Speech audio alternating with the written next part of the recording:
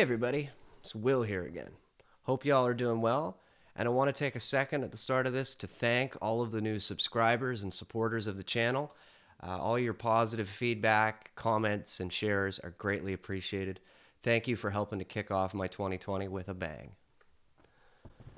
Today, we're talking about another cool guitar from my personal collection. This is a 1963 Gibson SG Standard. Now, this guitar falls pretty squarely in the player's grade category due to the black refin and several other changes, which I'll go over. But a stock in 63, the SG stock would have had a mahogany body, mahogany neck, uh, rosewood fingerboard, Brazilian rosewood with the mother of pearl inlays, would have had the uh, trapezoid shaped inlays. It would have had two PAF or patent number humbucking pickups with nickel covers. All the hardware actually would have been nickel. And it would have had an ABR1 bridge as well as a Maestro vibrato tailpiece, or perhaps some had factory Bigsby's, which this may have been one. I don't know.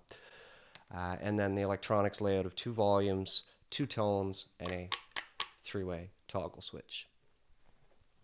Now, as I said, this guitar is a player's grade. So, what's been done to it?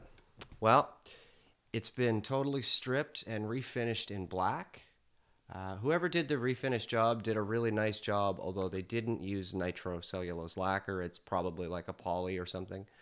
I think most of the work done to this guitar was done probably in the 1990s. It was all done before I acquired it.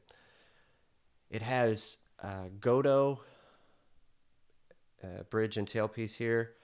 It has Seymour Duncan 59s in both positions here. And the tuners are a set of late 60s, early 70s Klusons that you would have seen on maybe a Les Paul Deluxe or something of that period. A cool thing about this guitar that I really like, um, from the SG's introduction in probably in '61, uh, when it was still called the Les Paul, the earliest models had a fairly slim taper neck profile, and that was the big selling feature at that point, going from the sort of rounder, big profile to the slimmer one. But by about 1963, they had actually gone back to a fuller, rounder neck shape, and that you see kind of from 63 to 64 um, was sort of the years where it was the bigger, rounder neck and still had the 1 and 11 16th nut width before they went small in 65. So that's why I like this guitar a lot, primarily, is that it's got that great kind of 63, 64 round, closer to a 50 style neck, which I find very, very comfortable on this guitar. Uh, it's kind of similar to the spec of, I don't know, like the SG that Clapton played, the Fool guitar or something like that. But uh, yeah, it's, uh, it's a good instrument, and I look forward to sharing some sound samples of it with you. The story behind how I acquired this one I bought this from a guitar shop that I worked for for many years called Gig Street Music here in Halifax. And it was one that my boss had found. And uh, when he brought it over for me to check it out, I said I had to have it. So I had a red 80s prehistoric reissue SG. So I sold that bought this. This is a main stage guitar for me, and uh, I really enjoy getting to play it. Uh, I do have a couple of modifications planned for this eventually.